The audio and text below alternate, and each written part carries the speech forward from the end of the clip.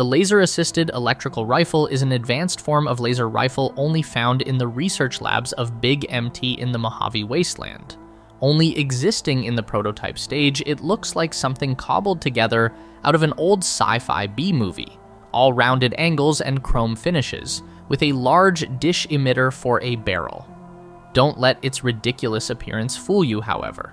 Like everything produced by Big Mountain, it's as unstable as it is deadly.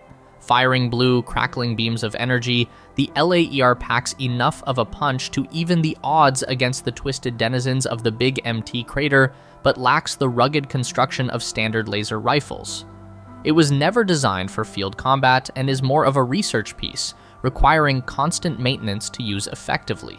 Still, the siren song of that glittering blue laser means that most who come across one of these advanced pieces of tech keep it around, since there are few problems a laser assisted electrical rifle can't solve.